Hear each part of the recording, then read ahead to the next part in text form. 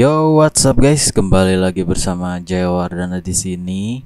Hari ini aku akan me- menunaikan atau mengabulkan permintaan kalian bagaimana cara merekam atau meng- mengedit audio ataupun instrumen musik di GarageBand. Oke, langsung saja buka track kalian, buka eh, project kalian. Aku di sini udah bikin.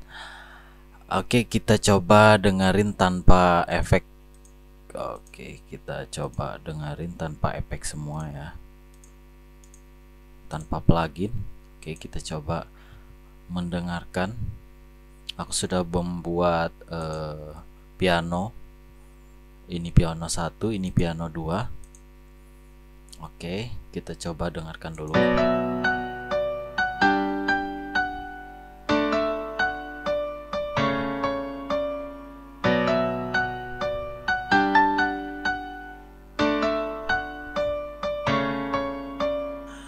Say now that we always be Oke, seperti itu kedengarannya tanpa efek ya vokalnya.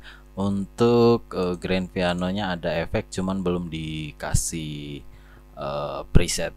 Oke, untuk piano di sini aku dengar sedikit kering ya, nggak seperti piano pada umumnya.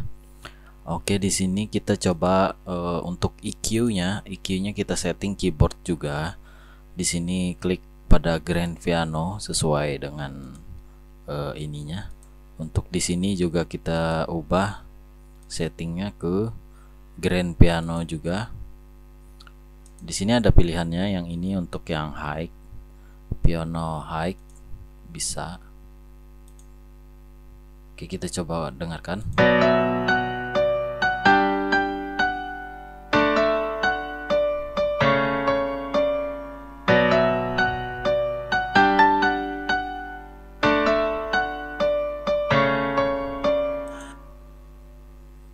Oke. Terus kemudian yang ini kita kasih harusnya ini yang low sih. Piano low. Oke, kita coba dengarkan sekali lagi.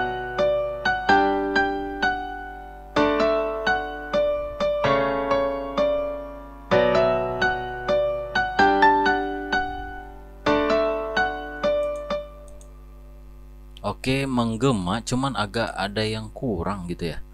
Untuk kompresornya di sini kita pakai yang keyboard juga. Heeh, yang keyboard biasa. Coba kita dengerin.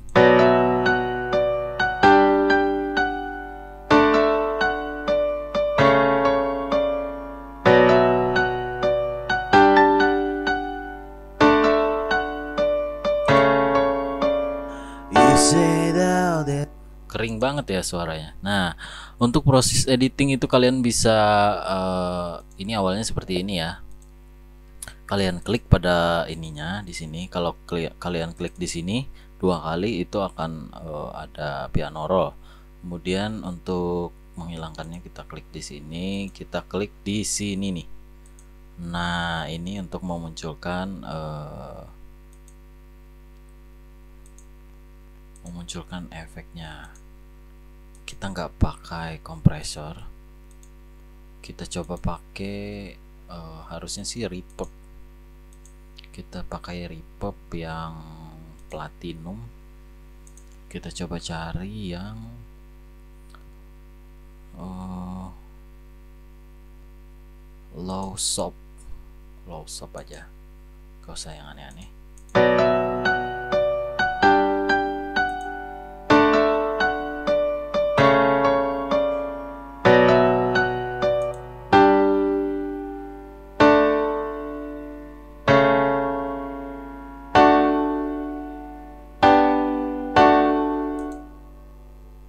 Oke, berbeda ya. Agak sedikit berbeda. Kemudian yang ini kita coba eh, tambahkan juga platinum platinum purple-nya. Kalau yang ini kita coba di low soft juga. nggak begitu gede reverbnya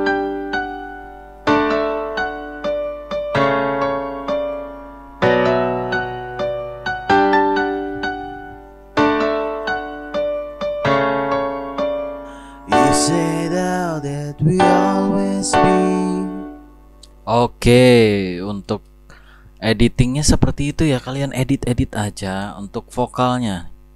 Oh, oke. Undo drag.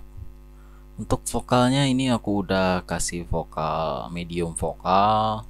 Terus itu EQ-nya aku udah kasih klasik vokal. Kemudian untuk reverbnya yang meeting room, aku pilih yang room size yang enggak terlalu gede supaya kelihatan lebih akustik. Kemudian untuk eh, noise gate menghilangkan eh, suara-suara di belakangnya, aku pakai backing vokal. Itu kemudian untuk echo-nya aku pakai yang seperdua single. Oke, kita coba dengarkan dengan efek ya. Oke. You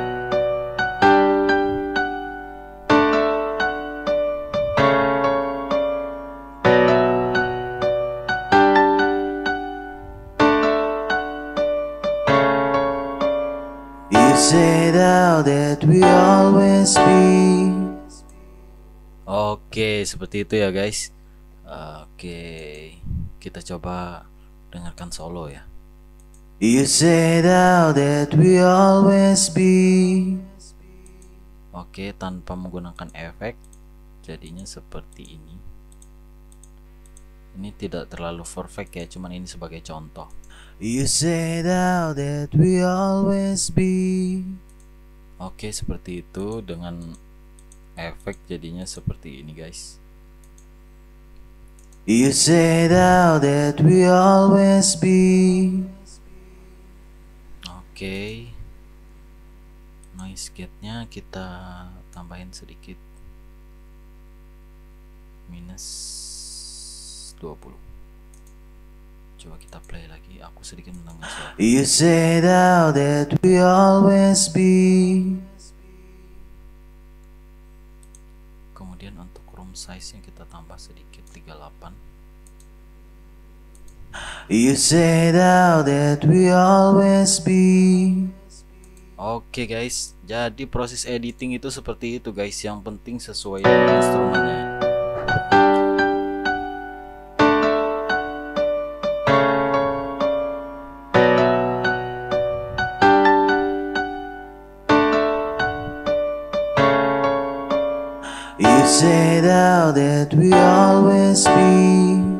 Oke guys, aku mau selesain track verse-nya, tapi kebetulan ini akan memakan waktu karena chord-nya banyak gitu ya.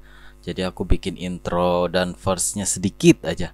Oke, untuk ini editing kalian mungkin bisa ya untuk menimbulkan eh, ini pluginnya kalian bisa klik di sini di tanda apa ini smart control.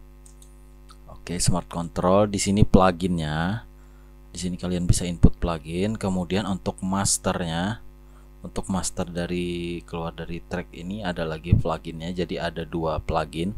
Kalian bisa kasih efek, kemudian outputnya ka- kalian kasih plugin lagi. Itu bisa double plugin. Cuman ya sangat nggak worth it sih menurutku kecuali kalian bikin eh, boost.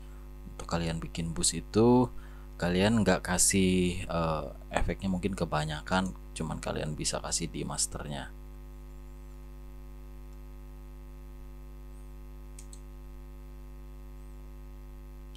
Drag this ladder adjust how much master echo track 1 do you get? Coba kayak gini. You said that we always be. Terlalu banyak echo ya jadi nggak enak kedengarannya. Oke untuk master echo di sini kalian bisa juga eh, setting kemudian outputnya kalian juga bisa kasih plugin. Barangkali kurang gitu ya efeknya di di tracknya tadi kalian bisa kasih. Kemudian bisa kalian kasih EQ juga untuk outputnya. Sa- aku rasa sih di track ini juga udah lumayan sih.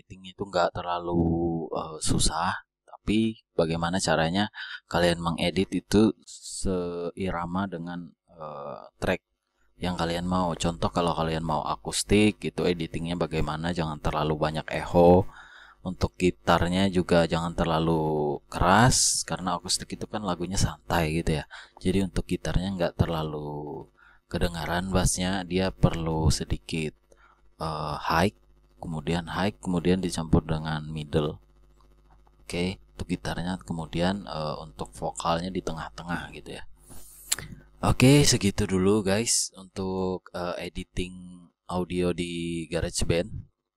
Untuk mixing juga sebenarnya editing dengan mixing itu cuma hampir sama, cuman kalau remix remixing atau mixing itu udah jadi semua track kalian uh, edit uh, jadi satu gitu ya. Untuk mastering juga uh, hasil dari mixing itu kalian mastering gitu ya.